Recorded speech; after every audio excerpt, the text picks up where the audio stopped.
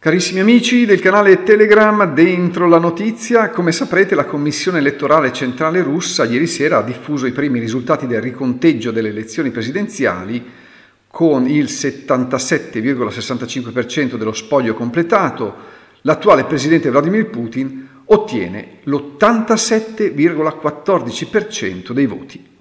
I dati definitivi non potranno che confermare questo risultato scontato, ma significativo per vari motivi.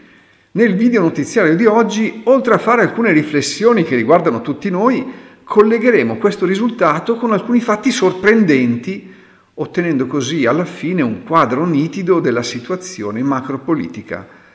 Putin si è rivolto alla popolazione del paese dopo la pubblicazione dei primi risultati e ha ringraziato tutti i cittadini russi che hanno votato a queste elezioni e ha affermato L'unica fonte di potere nel paese è il popolo russo, aggiungendo che il voto di ogni cittadino conta quando si tratta di tracciare il corso della nazione. Facciamo una considerazione partendo da queste parole del leader russo.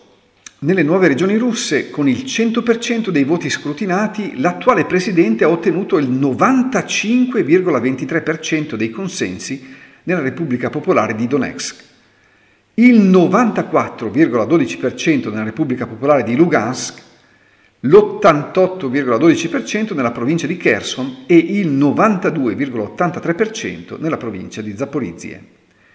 Cosa significano questi risultati? Il popolo si è espresso quasi unanimemente a favore di Putin. Questo potrebbe anche essere visto come un'esplicita conferma di assenso all'annessione alla Russia. Ora, credete sia giusto andare contro la volontà popolare? Oltre il 90% dei votanti si è abbastanza esplicitamente dichiarata felice di essere annessa alla Russia. Putin ha definito i russi una famiglia e ha assicurato che tutti gli obiettivi della Federazione russa saranno raggiunti. Riflettiamo su un altro particolare. L'attuale risultato ottenuto da Putin ha superato il precedente massimo del 77% di sostegno ricevuto dal Presidente nelle elezioni del 2018, confermando quindi che la stragrande maggioranza dei russi approva la cosiddetta operazione militare speciale. Deduzione confermata anche dall'affluenza preliminare alle urne, che è stata del 74,22%, la più grande in oltre tre decenni secondo i dati della Commissione elettorale centrale mostrati dalla TV di Stato.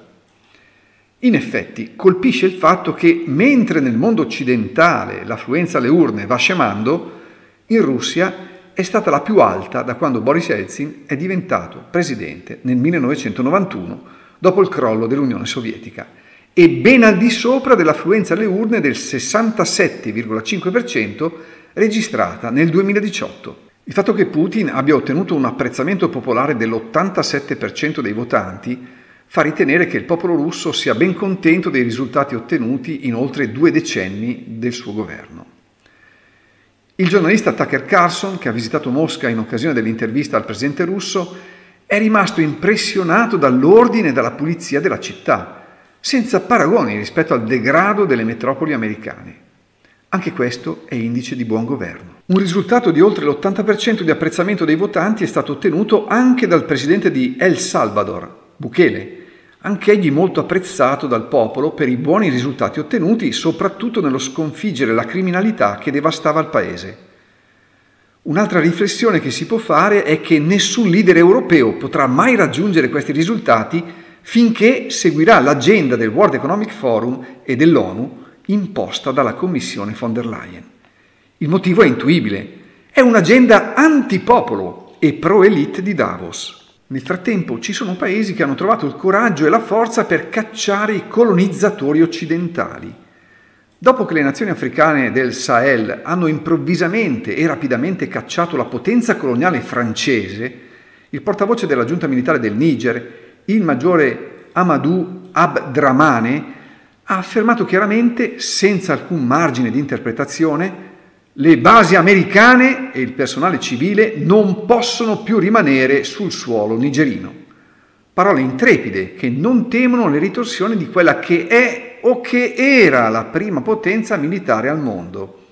Fino a poco tempo fa gli Stati Uniti e la Francia avevano più di 2500 militari nella regione e, insieme ad altri paesi europei, avevano investito centinaia di milioni di dollari in assistenza e addestramento militare. Potete vedere il video integrale sul nostro canale Telegram Dentro la Notizia. Iscrivetevi gratuitamente per ricevere le notizie che il mainstream non dice. Carissimi amici del canale Dentro la Notizia, un vivo ringraziamento a tutti voi che ci avete aiutato a divenire il primo media italiano di informazione su Telegram. Per continuare a offrirvi quotidianamente un'informazione intelligente a tutela della popolazione, abbiamo bisogno del vostro sostegno.